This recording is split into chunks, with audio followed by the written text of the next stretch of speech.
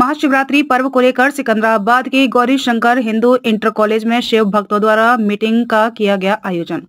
सिकंदरा राव आगामी शिवरात्रि का पर्व 8 मार्च को मनाया जाएगा।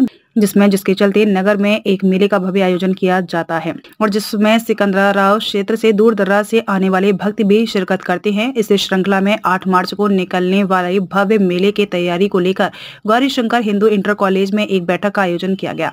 बैठक के दौरान सभी जिम्मेदार व्यक्तियों पर निकलने वाले मेले का कार्यभार सौंपा गया और साथ ही नगर की जनता से अपील भी की गई कि आने वाली 8 मार्च के शिवरात्रि वाले दिन मेले को गौरी शंकर हिंदू इंटर कॉलेज से समय 11 बजे प्रारंभ किया जाएगा।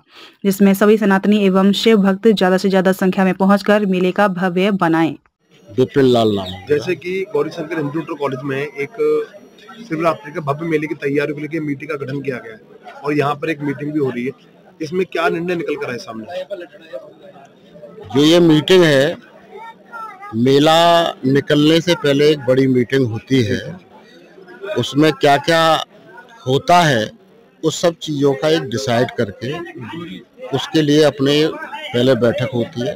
उसके बाद में सभी कार्यकर्ता अपने अपनी अपनी तैयारी अपनी अपनी योजना जिनको दी जाती है तो वो उस दिशा में अपने काम करते हैं। क्या लगता है कि इस मेले में लगभग कितने हज़ार लोगों की भीड़ होती होगी?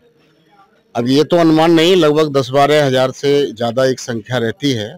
कि सभी अपने अपने प्रयास से भीड़ अपने आती अच्छा, है और समाज के कुछ लोग अपने आप उस मेले में आते हैं रहते हैं।